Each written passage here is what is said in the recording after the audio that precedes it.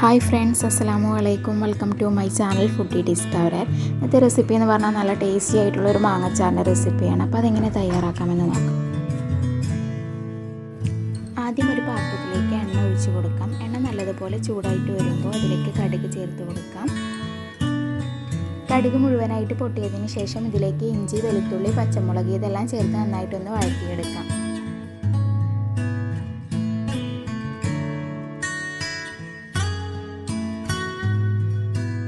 ഇതിലേക്ക് കറിവേപ്പിലയും മുളകുമുളക് പൊടിച്ചതും ചേർത്ത് നന്നായിട്ടൊന്ന് മിക്സാക്കി എടുക്കാം ശേഷം ആവശ്യത്തിനുള്ള ഉപ്പും മുളക് പൊടിയും ചേർത്ത് കൊടുക്കാം.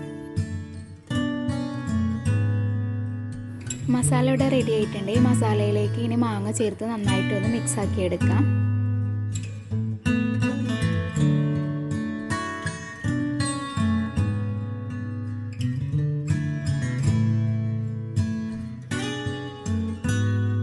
മാങ്ങയിലൊക്കെ ഇപ്പോൾ നന്നായിട്ട് മസാല പിടിച്ചിട്ടുണ്ട്. ഇതിലേക്ക് സുറുക്ക ഒഴിച്ച് കൊടുക്കാം. സുറുക്ക ഒഴിച്ചതിന് ശേഷം രണ്ട് മിനിറ്റ് നന്നായിട്ടൊന്ന് തിളപ്പിച്ചെടുക്കാം.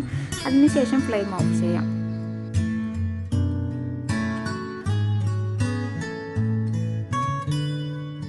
നല്ല ടേസ്റ്റി ആയിട്ടുള്ള മാങ്ങച്ചാർ റെഡി ആയിട്ടുണ്ട്. അപ്പോൾ നിങ്ങൾക്ക് ഈ വീഡിയോ ഇഷ്ടമായെങ്കിൽ ലൈക്ക് ചെയ്യാനും ഷെയർ ചെയ്യാനും സബ്സ്ക്രൈബ് ചെയ്യാനും മറക്കരുത്.